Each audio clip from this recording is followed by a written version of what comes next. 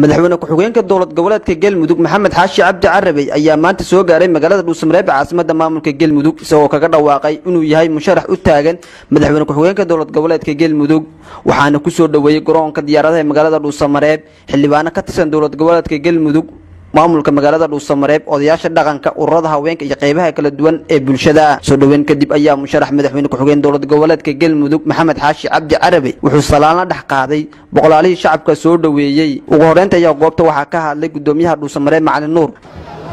Waxaan leenaha murashax soo dhowow waxaan maanta si weyn u soo dhoweynaynaa.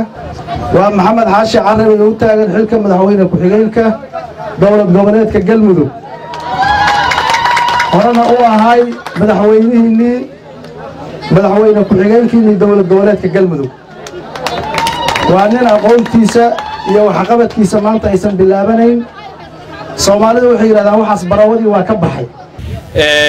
Marka xildhibaanada sharafta leh ee baarlamaanka labaad waxaan rabaa inaan ka codsado inay codka mar labaad siiyaan inuu marka xildhibaanada sharafta leh ee baarlamaanka labaad waxaan rabaa inaan ka codsado inay codka mar labaad siiyaan inuu madaxweyne ku-xigeen ku shaqeeyo.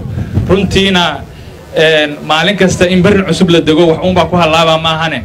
Waxba ku hagaagi maayaan. Soomaalidu waxay jeceshaha isbeddelka iyo inuu mar kasta maaragta dabayshu ay dhinac u socoto loo raaco.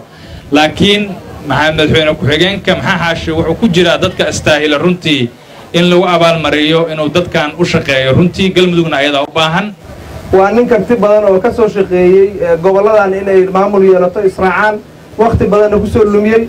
Haddana u taagan musharax waxaan ka codsanayaa in xildhibaanada dowlad goboleedka galmudug inay codkooda siiyaan si uu wakhtigiisa u sii dhammaystirto. Garyaqaan siyaasiya xaajada gorfayn kara godkeeda dhigi kara ku garnaqa cadaaladda ku garnaqa cadaaladda go'aankiisa fulin kara wakaa galabta noo yimid gabalee aan dooranno soo dhowow madaxweyne ku soo dhowow dhuusamareeb shaqo u soo dhowow insha allaahu annaguna waa ku soo dhoweyn doonaa annaga ka dhallinyar ahaan waan ku soo dhowaynaynaa horeyna waan kuu soo dhoweynay maxamed cabdi xaashi carabey haddii aan wax yar ka hadla waa nin galmudug u soo waa nin galmudug wax badan u soo joogay waa shaksaan is leeyahay aqoontii galmudug buu leeyahay waa shaksi maanta meesha ay joogto ka wadi kara waxaan leeyahay dhabarjabtae noo dhammaystir ugu dambeynta ayaa goobta waxaa ka hadlay madaxweyne ku-xigeenka dowlad goboleedka galmudug ahna musharax u taagan madaxweyne ku-xigeenka dowlad goboleedka galmudug maxamed xaashi cabdi carabey